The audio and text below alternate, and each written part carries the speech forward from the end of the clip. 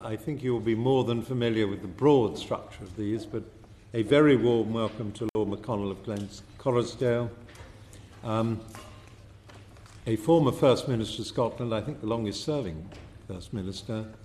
Um, we are anxious in this Brexit devolution inquiry to try and sound all shades of opinion um, within each devolved nation. Also to take the mind of our colleagues who've been very generous with their time in the different parts of this inquiry, and we're extremely grateful to you for coming this afternoon. Um, I think you all know the usual rules of engagement. This is a public evidence session. We will webcast it and we'll send you a transcript for any factual corrections. Perhaps I could also say at this point that um, certainly the way we would see it, and I'm sure you can certainly affect this because you're here, is um, to have a continuing relationship with you through this quite challenging period for, for the British system and approach to these issues. So what you say today is useful. What you may wish to add in the future will be equally useful. And please keep in touch with the committee, and we'd like you to do that. So having said that, if I may, and you're ready, we'll kick off with the first question, which is to ask you for your reaction to the Prime Minister's Lancaster House speech and then the White Paper. We have, of course, other White Papers coming out this week, and we may return to some of those in a minute. But basically, what you have seen so far of the UK government's approach to Brexit negotiations, and in particular the political, economic, and legal implications to Scotland and the other devolved nations, if you want to add a comment on them, of the UK's government's approach to Brexit? Thank you very much. Well, uh, first of all, thank you uh, very much, Lord Boswell, for this opportunity. My apologies that I was not able to uh, attend the committee on an earlier date. No, we um, uh, but uh, uh, I was very keen to, to give evidence, and I really appreciate this opportunity to do so. Um, I should probably say for the record that I'm not, unfortunately, now the longest serving First Minister was overtaken by my, uh, by my successor. But I, I am still the youngest, um, and so I will, uh, uh, and that includes Miss Sturgeon. Uh, so I will, I will retain that until someone who was under the age of 41 takes on the position in the future. Um, I, I wanted to, to, to, to, in addressing this first question, um, make a few general remarks that I'm sure you will come back to in, in, in other, other questions. But it seems to me that we have a really quite critical situation emerging now as a result of uh, the vote last year um, and the government's strategy as it has developed, including in the Lancaster House speech, um, and then of, obviously subsequently the speech from the, from the First Minister. Uh, and I worry, uh, I worry deeply that uh, the uh, polarisation of the two positions, uh, the, the UK government and the Scottish government, uh, could lead to uh, some real problems further down the line in Scotland, given the implications for uh, the legislative responsibilities of the Scottish Parliament uh, and the implications, I think, for um, the, the Scottish economy, uh, uh, not just in relation to another independence referendum, but more generally by, by the amount of uh, detail that will have to be covered uh, by them between now and the Great Repeal Bill and uh, the other actions that will come out of the Brexit negotiations. Um, and I think there are a number of fundamental principles here. Um, uh, I would say, first of all, that the, the, the, the, I think the Prime Minister laid out a very clear strategy in that Lancaster House speech. Um, I have to say that I, for one, believed from the moment that the vote took place last June that it was uh, logical for the UK to then decide if it was going to remove the jurisdiction of the European Court um, to, uh, to have, UK would have to leave the single market and ultimately almost certainly the customs union as well. Um, so I didn't think that her speech was a much of a surprise, to be honest, and I think it's a logical strategy given where we are. Uh, we might not want to be there, many of us, but given where we are, I think that's clear. And within that speech, she does make a positive reference to Scotland. But I think, um, if, if I can say this, yet again, and this has been the tradition with the last four prime ministers, um, that statement is couched in very defensive terms about the United Kingdom, um, rather than stressing the potential and the possibility that this new situation might uh, might provide um, for the diversity of what is the modern day United Kingdom. Um, and I think uh, therefore, when you have the First Minister's response um, to indicate that she wants to have another uh, independence referendum, um, uh, that again is perhaps predictable, but it, it means that there is a, a, almost no discussion on either side, no reference on either side to the great detail that needs to be addressed here, uh, not least because of the specific circumstances in Scots law uh, that will be affected by all of this. So it, it does seem to me, and I'll, I'll just summarise this very briefly, I, um, You know, I think that the, the two governments really need to take a, a different approach to this, and I hope that in the weeks to come uh, they, would, they would look at this. I think, first of all, because of the intransigence of the two positions and the claim and counterclaim that will result from that in every meeting that takes place, I think there needs to be even more transparency about the process of intergovernmental discussions within the United Kingdom than there is in Whitehall or between the UK and the EU. I think all of the papers that are discussed between the Scottish Government and the UK Government should be published, and I think there should be open access to them. Um, secondly, I think the discussions that take place should respect the current devolution statement, settlement, and that should be a firm position of both of the two governments before they get started. And I think that would then produce, uh, in terms of stability in the allocation of powers, a fairly straightforward process. But where there is a dispute, thirdly, I think there should be some kind of independent adjudication um, of disputes over the allocation of powers within that settlement without needing to refer to the Supreme Court. It should be possible through perhaps some sort of judicial appointment or something of that sort uh, to have an, at least an independent view uh, where there is a dispute over the allocation of powers as a result of the repatriation from Brussels. Um, fourthly, I think there needs to be active engagement on cooperation in the post-Brexit world, so that if, for example, all of the powers on fisheries are devolved to the Scottish Parliament, as would be the case under the current devolution settlement, there should be immediately set up a cooperative arrangement on the UK basis so that Scotland, Wales, Northern Ireland and England can discuss a common fisheries policy for the UK. And again, that would seem to me to be entirely logical um, and straightforward if, it's, if it was agreed at an early date. Fifthly, I think there needs to be urgent injection of capacity, and I would include in that uh, transfers between the two governments of civil servants, so that there were UK civil servants embedded in the Scottish Government and Scottish Government civil servants embedded in the, uh, those working on Brexit in the UK Government, but with additional capacity, um, and certainly in some of the legal side, um, in both governments to deal with the aspects for Scots law Uh, and finally, and I think this perhaps uh, comes to the nub of your question, um, I think everybody has to, has to, I think, fully understand that if there are going to be special arrangements for Northern Ireland, and there have to be special arrangements for Northern Ireland as a result of these discussions, then it is simply not true to say that there will be one solution for the whole of the United Kingdom. And therefore, there needs to be some flexibility in relation to Scotland and perhaps Wales as well. Chairman, good afternoon, Lord McConnell. um, well, your introduction has led into the next series of questions, really, which are attempting to probe in a bit more detail to what extent um, a, a bespoke arrangement can be, be uh, provided for the devolved nations. I mean, the, the Prime Minister has said on a number of occasions she, she would like to reach a Brexit agreement that works for the whole of the UK. So the first question is really, so far, do you think she's delivered on that undertaking? Uh, then, a little bit more specifically, I mean, is it possible to respect that referendum result um, whilst taking account of the divergent views of the nations? Particularly, if I might be frank and say, if one government is, has got two agendas.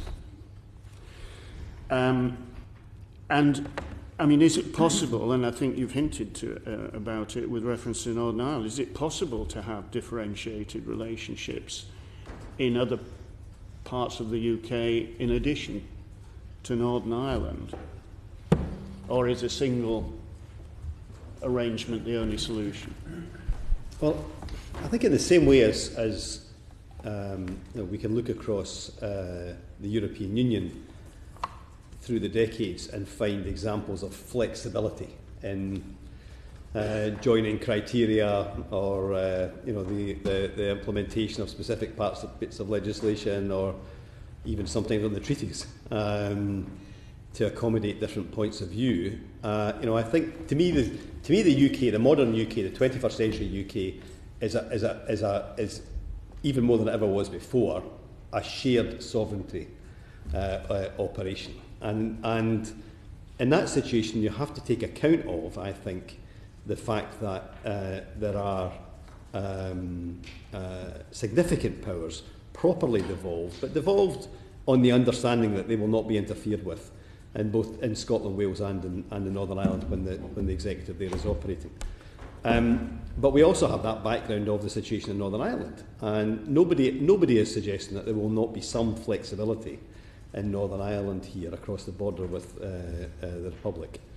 And um, if there can be some flexibility for Northern Ireland, then it's not out, out with the, the, uh, the brain power of the British government to, to, to find accommodations in some sense with some of the aspirations that are in Scotland.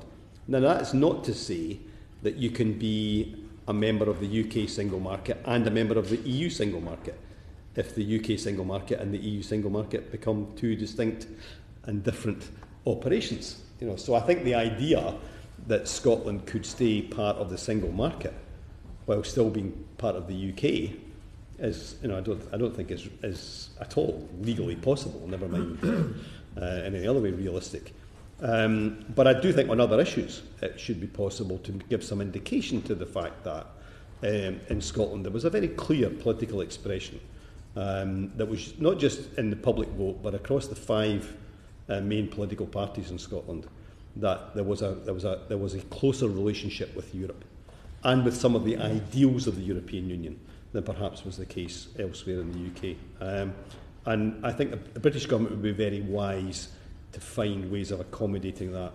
Not in a defensive, negative, fearful sense, but in a positive sense that celebrates the diversity of the shared sovereignty of the UK.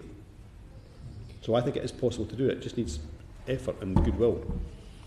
Have you any particular areas in mind that would be, as it were, obvious candidates for a differentiated settlement? Well, one that's, I mean, one that's, uh, I, I, I, would, I would have I'll give you two examples, uh, I, I would say, perhaps, that might, um, one, of, one, one which already exists and one which I think could exist.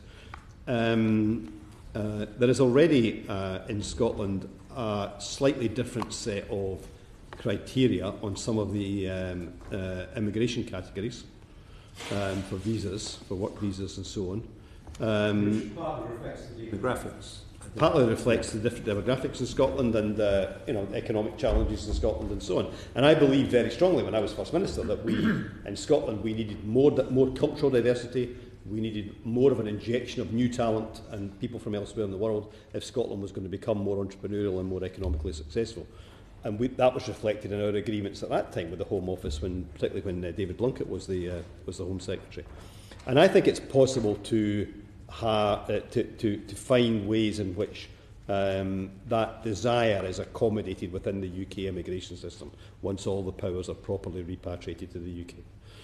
The other area I would mention, though, is in, in, in trade agreements, which is a whole new, new area for the, for the UK government to deal with.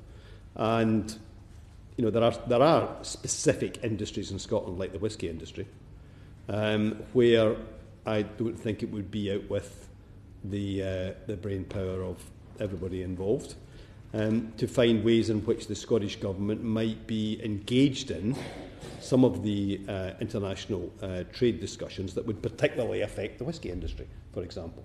So I think there are ways of working collaboratively and for the UK government to signal to Scotland that it wants to work collaboratively with these desires um, and, and uh, if the will is there to do so. And I, th I think the key thing is, the key issue here is psychological in my view.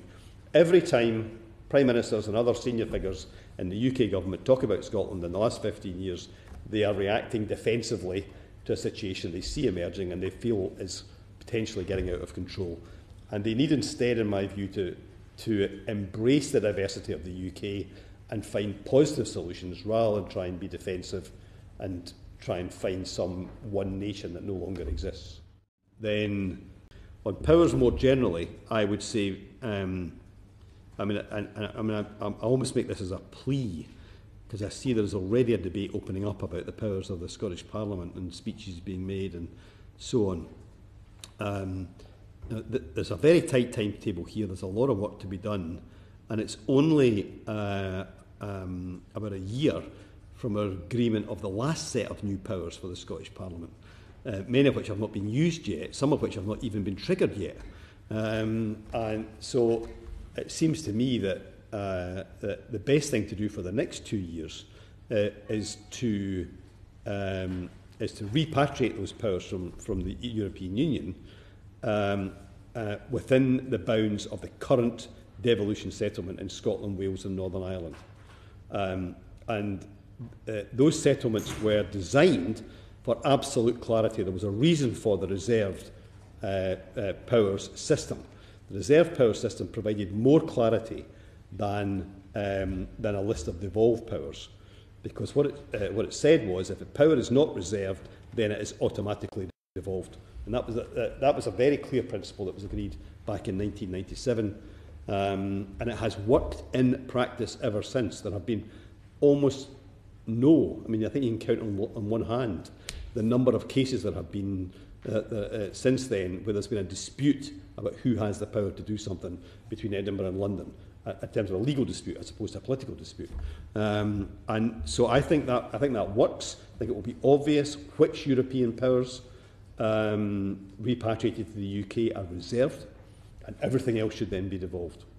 Um, uh, and uh, I mean, there are obvious examples in all of that, fishing, agriculture and so on, uh, on one side, um, uh, international trade on the other.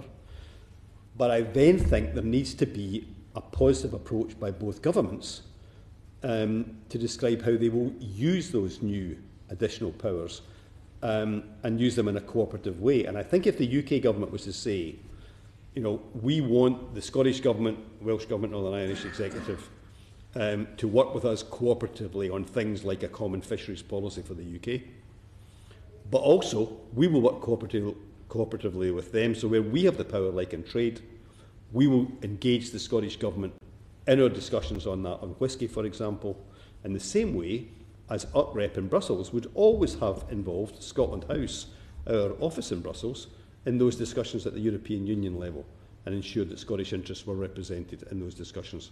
Uh, so I think and both, if both sides are positive, they can find ways of making cooperation work within the current settlement. In, in the new situation, if you take agriculture, for example, uh, because of the principle that if it's not reserved, it is devolved, agriculture is a, uh, has hitherto been uh, a Scottish Government responsibility, but of course it's been overridden by uh, Europe requiring uh, the whole of the United Kingdom to observe certain regulations and, uh, uh, and certain uh, conditions for expenditure.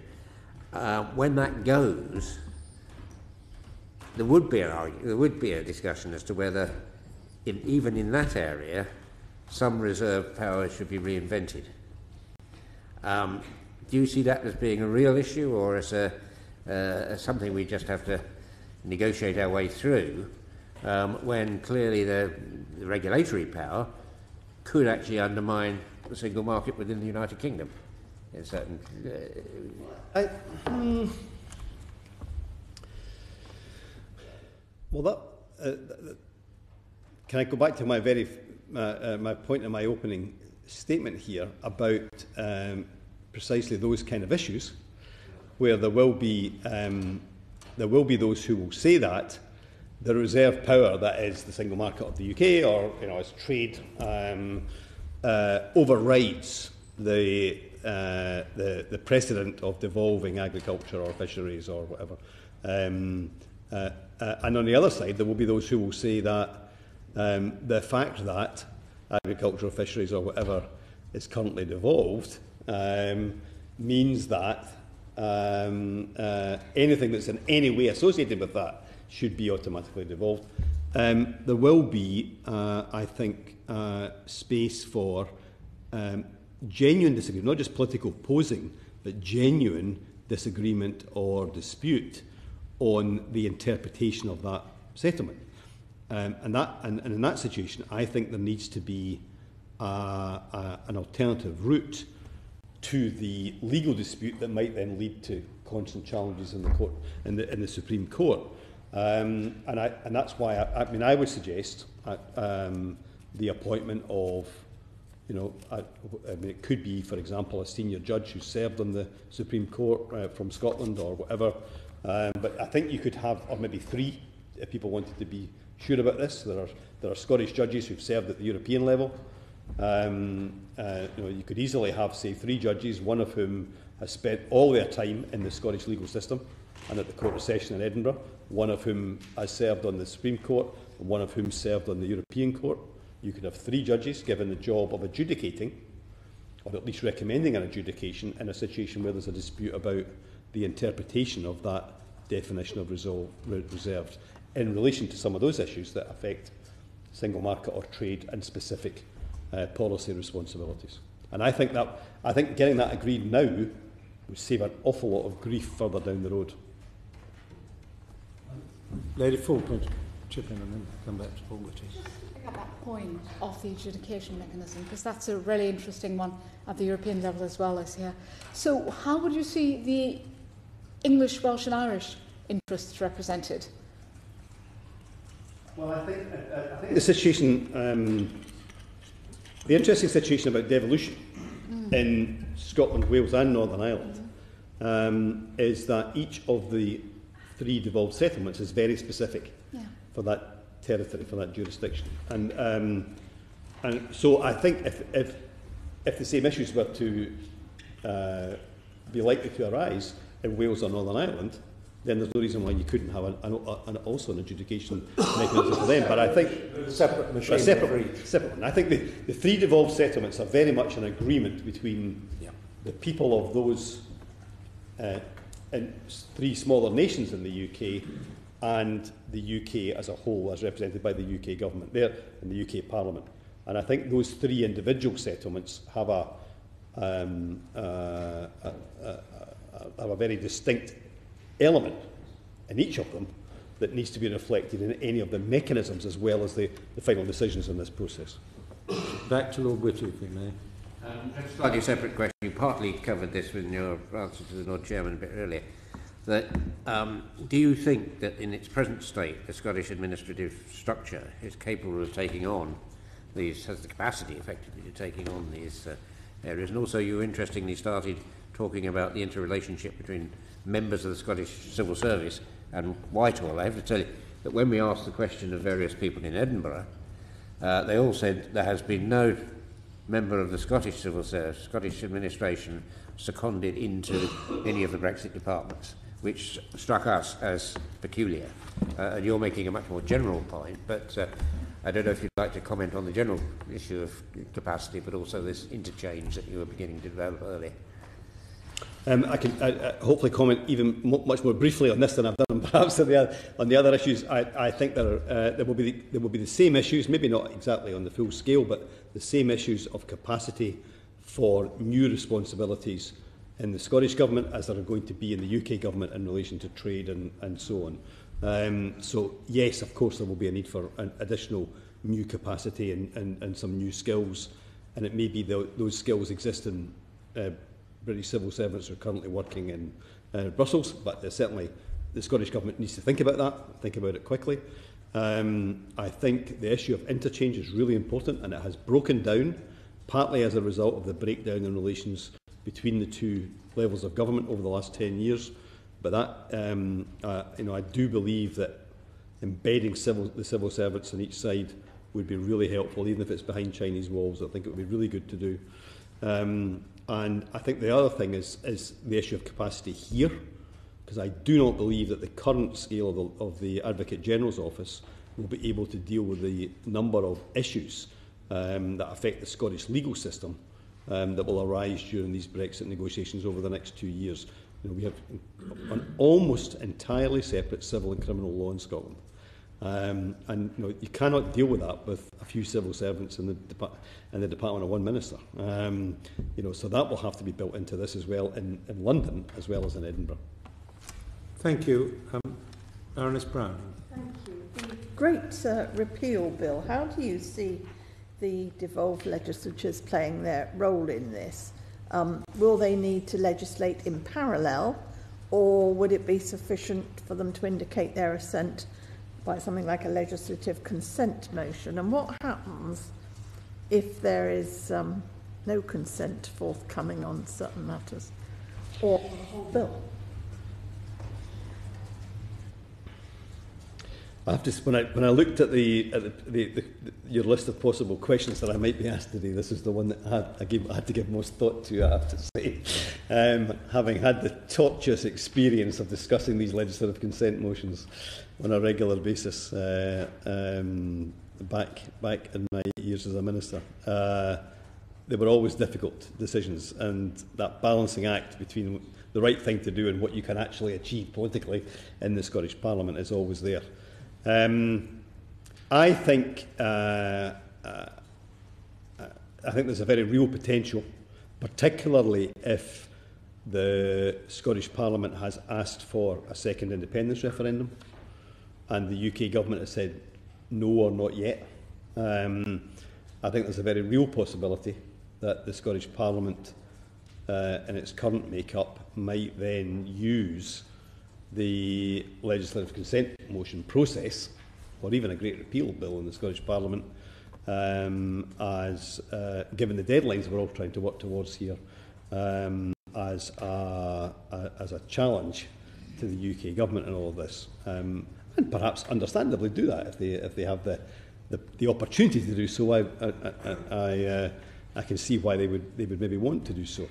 Um, and so I come back to my uh, uh, original statement really here because I think I think if there is not clarity and transparency in the negotiations, which exposes both sides to full accountability in the positions that they are adopting between the UK government and the Scottish government, um, and if there is not some process of adjudication on some of those issues about powers that might might then arise, um, then I think we will find ourselves in 12, 18 months' time facing the prospect of the Scottish Parliament and the UK Parliament disagreeing, challenges in the, court, in the Supreme Court, um, and perhaps the, the whole timetable being derailed. So I, I would come back to the, the, the issue that we need to resolve how we're going to resolve these differences now so that at the end of the day, if there is a great repeal bill in Scotland, perhaps coupled with some legislative consent motions, there might need to be both. Um, then that has been that has been agreed publicly and transparently, and nobody can then go back on the on the deal on either side. apart from the um, uh, proposed referendum for independence, uh, are there any other hot spots that you identify that might be the key sticking points? Well, I think um, uh,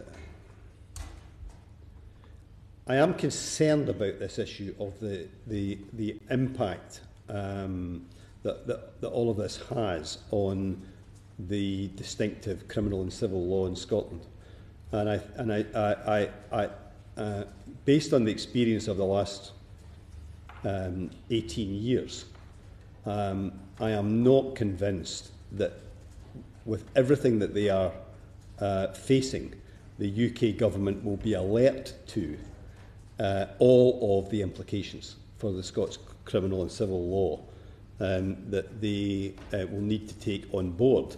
And therefore, it would be very, uh, I think, very easy to see um, the possibility that at the end, towards the end of this process, a number of issues arise that have just simply not been thought through properly. Um, and that comes back to the issue of capacity that was raised, raised a minute ago. You know, I, I, I, if, and I think in this, in this process where there is, this is not like a normal political process where you can just put it off for six months. You know, there is a, t- there's a deadline here, and these, these, these new laws will have to be passed. So, um, scaling up the capacity right now needs attention uh, at both ends um, of, the, uh, of the M1. Um, uh, and, and, and having an adjudication mechanism and a transparency in the process, um, I think needs to be dealt with now because if, the, if, if these issues arise in 12 months' time, it might be too late to, to resolve them properly. And, you know, I, I, I sat in, in the Scottish Parliament in, in uh, I was finance minister, I wasn't first minister at the time, in August uh, uh, 1999. Um, and we always talk about the first bill that was passed by the Scottish Parliament, the first act being the one that I, I put to Parliament to set up the financial rules and regulations, the Public Finance and Accountability Act.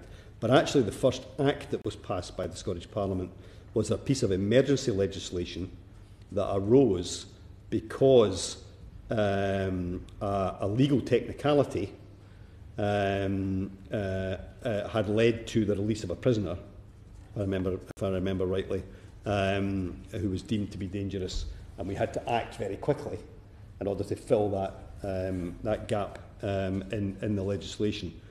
And uh, you know, I worry that if the Scottish legal provisions are not properly accounted for in these discussions, and there's a mix-up in the final month or so of the passing of the Great Repeal Bill, then um, you know you could there could be mistakes that could have, have quite serious consequences. So we need to get our act together on this. Do you have the impression that there's any significant body of opinion, either in London or Edinburgh or both, um, which is buying into your ideas on transparency and dispute resolution? Um, not yet, but I'm an optimist. That's a short answer, and I got the point. Um, I think at that point we go on to Michael Jay. Thank you. Um, I wanted really, in a way, it's summing up what you said so far is whether you think that the British government, is the UK government, is doing enough to take into account the uh, and reflect the different interests of the devolved administrations. The first question. But secondly, is whether you think that the Joint Ministerial Committee, which we've heard quite a bit, is um, is the vehicle for doing that. I mean, the the, the, the implication we've rather heard rather up, up to now is that London seems to speak rather highly of the Joint Ministerial Committee, but when we ask people in Edinburgh, Cardiff or Belfast, they seem to be rather dismissive of it. And I just wondered where, where you stood on, on that too. Um, I was never a fan of these committees, I have to say. Probably the most sceptical person in, in, in, in, uh, involved with them. The only one I ever found to be particularly useful um, was an internal UK government uh, JMC, which was the one on Europe, um, that was chaired by the Europe Minister, um, including, including during, uh, during your time as, uh, uh, as head of the diplomatic service. And those, but that's because that, that, that, uh, that JMC, in my view, had a, had a, had a function. It was partly the swapping, the, the exchange of information. It was partly agreeing and understanding the UK government's line on certain issues and looking ahead to the issues debates on the constitution at the time and so on. Um, I, I, I have to say I find the other. Um, if, I think if people are honest about the other JMCs um, that, that involve the devolved administrations, then um, they are either seen as a chore uh, or they are seen as an, a, a political opportunity. Um, and neither of those two psychologies seems to me to, to fit the bill on this, on this particular business. So there needs to be a JMC European negotiations as there is, because there needs to be some mechanism uh, to pull, pull together. But um, I, don't, I don't think that's sufficient at all for the depth of discussion that needs to take place here. And, I, and I, I, I don't know enough about the procedures to know if people, are, if they are presenting papers from each side and going through the detail slot by slot.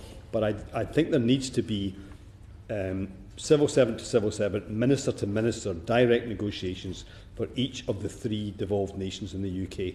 Um, and uh, the, the, the, the papers and the agreements from those discussions could then be ratified by a JMC European negotiations that then goes up through the process in Whitehall or whatever. But I think that bilateral agreement is critical for, for the, uh, to, to, be, to get right into the detail of this as opposed to the general processes what, and strategy, which is really what we've been talking about so far. So the JMC, the, the, the JMC for uh, on EU negotiation would be sort of ratifying what had been sorted out bilaterally with the three different administrations separately. Of recording agreements to then process through the system. Yeah. And the idea of cross-posting to which you referred earlier could be relevant to this in that um, Yes. there would be um, representatives of the Scottish Government in the Cabinet Office who could walk down the corridor and say, we need to sort this out. That's, you know, so there's the informal Yes.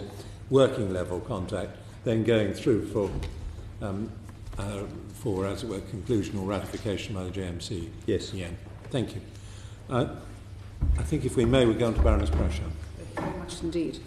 I want to talk a little bit about the interparliamentary dialogue mechanisms between Westminster and the legislature.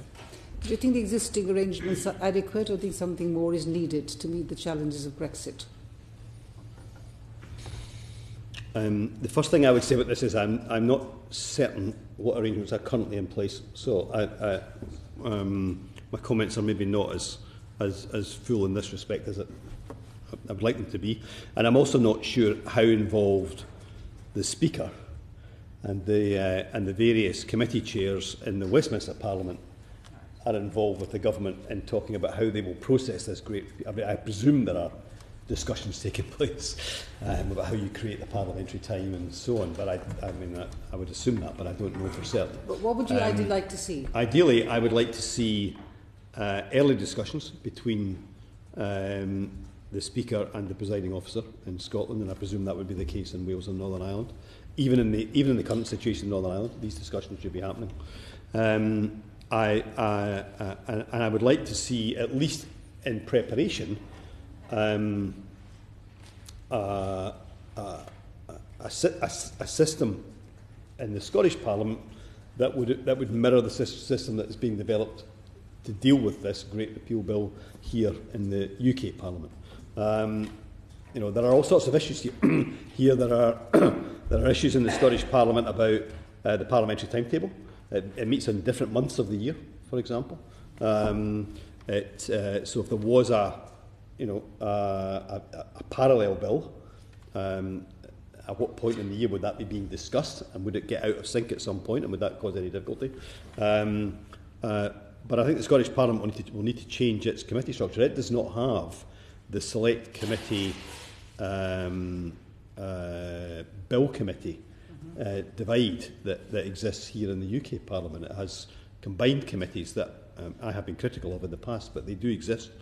Um, so they're going to have to find a way of creating the legislative um, uh, discussions within those committees that will that will deal with any any any bill that might come along. So I think a lot of preparation is going to be required, and I think the best place to start in that would be perhaps some kind of joint working group set up by the presiding officer and the speaker, again for each of the three administrations, three parliaments and assemblies that would lead um, uh, that would it would engage them starting right now and not leaving it to once the government's come up with plans and proposals further down the further down the road. we even look at, in, at least potentially, and maybe somewhat in the future, could we even look at things jointly? As a, I mean, as a London-based select committee with a devolved um, assembly which had a particular interest in the area. I, um, I, I have absolutely no in principle objection to that. Um, I think there are the, the situation is complicated by the decision that was made back in actually almost before the Scottish Parliament was created. It was made in '98 really by um, by the ministers in the then Scottish office that there would be this um, this hybrid system of committee, which means that we don't have uh, the sort of exploratory, investigative select committee style that might work. But there, I, I don't see any reason why you couldn't create, as we have created in, in these two houses, hybrid committees that share the membership of, of, of both houses. And um, I, I think it would be a really interesting experiment to try and do do that on a, on a UK. If, let me give you an example. If, to go back to Lord Whitty's questions, if we were looking at a common agricultural policy or a common fisheries policy for the UK, where each of the devolved nations has its own responsibilities, and the UK government has its responsibilities for England and perhaps some overview, um, the, uh, you know, would there be a case for having a joint parliamentary committee looking at what that policy might look like in practice, rather than the four parliaments doing their own thing, while the four governments are trying to work together. And I think that would be quite an interesting idea. Um, but, but, but perhaps two years down the road rather than right now. Thank you. Final question formally, Lord Green. Looking in the other direction across the channel, um, how far do you think that the EU, um, collectively and individually at the member state level, understand the subtleties and the importance of some of the issues that affect the devolved administrations? You said earlier, and we would all agree, of course, that there are very distinctive situations in the three, and perhaps we should leave Northern Ireland aside for purposes of this question really, I guess, focus primarily on Scotland. How far do you think that, not merely Brussels and the machinery in Brussels, but the member states more generally, who will be important in the process, or certainly at the end of the process, understand the aspirations and the particular issues that are of concern to the Scottish people and the Scottish Government?